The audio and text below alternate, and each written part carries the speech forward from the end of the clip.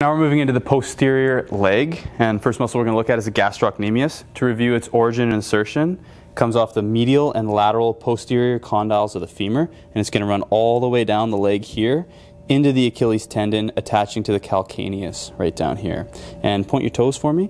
So we can get a really nice outline of this muscle here. So right here, this is going to all be the medial head of the gastroc, and then here's going to be the lateral. You can really, relax for me, you can really lift this muscle up and pull it away. It's very superficial and it has a lot of muscles lying deep to it, namely the soleus, which is also involved in plantar flexion at the ankle. So point your toes again, which is one of the main actions for the gastrocnemius. Because it also crosses the knee joint, it does do a little bit of knee flexion.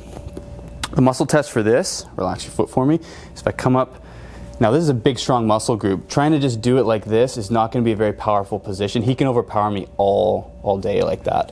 What I'm gonna wanna do is hook my elbow into my hip, support across his ankle, and then just slowly lean my body weight in, and then he's gonna slowly rebound back. This is a good position for me to be in, and I can palpate this muscle and see all the contractile fibers, just like that, and then slowly come off. Um, tendinosis or ten tendinopathies are going to affect the tendon down in this region here, so it's always a good idea to palpate here, check bilaterally, and just see if there's any thickening, inflammation, or irritation going on. But again, you're going to want to do a full workup of the ankle, the tendon, as well as all of the muscle to see if, uh, just you know, to find out where the problem is. We're going to take you guys through a better check of the functional kinetic chain for the gastroc and soleus in a standing position here. So what we'll do is have the patient rise up on his toes, and then we can see a good contraction bilaterally of the gastroc as well as the soleus coming down here. This will be a little bit easier than doing a manual muscle test on a table, and you can come back down for me.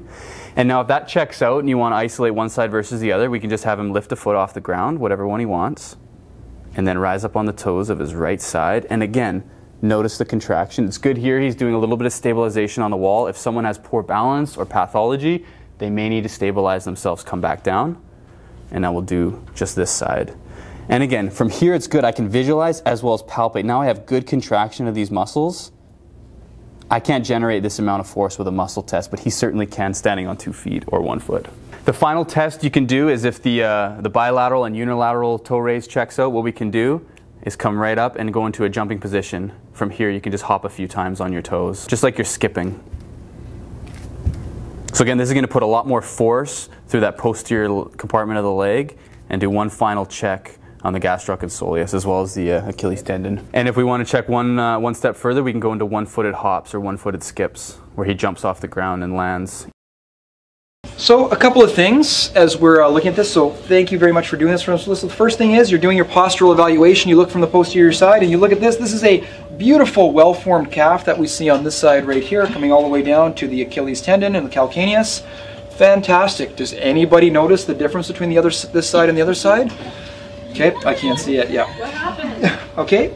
So the first question is. nature, I was just born like that. Yeah. yeah. So this is a congenital variation. She was born without a right gastro gastrocnemius. So if we can, I'll have you go ahead and plantarflex up for us. So there we go. Perfect. And here you can see the outline of the head, of the medial head. There's the lateral head. Where is it on this side? Mm. Okay. Even her soleus, I guarantee, on this side is going to be a little bit smaller. For sure, that's going to be an outline of soleus right there. Coming around to the medial side, usually soleus is a little bit larger than this coming in, so slightly decreased in size. This is not a surgical scar right here. This is just the way that her Achilles tendon comes in and feeds into that soleus muscle where it's missing some more of the fibers over here on this side right there. And then go ahead and come back down. So you, how have you noticed this has changed your function?